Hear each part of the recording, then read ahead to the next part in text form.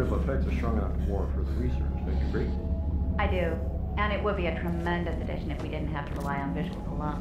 Fine. I'll talk to Director Thorne tomorrow. What are you doing tonight? Nothing planned. Why? I'm not psyching topside. Please. I was thinking maybe you'd like a drink. Or just coffee or whatever. I'm at the bottom of the elevator shaft. What next?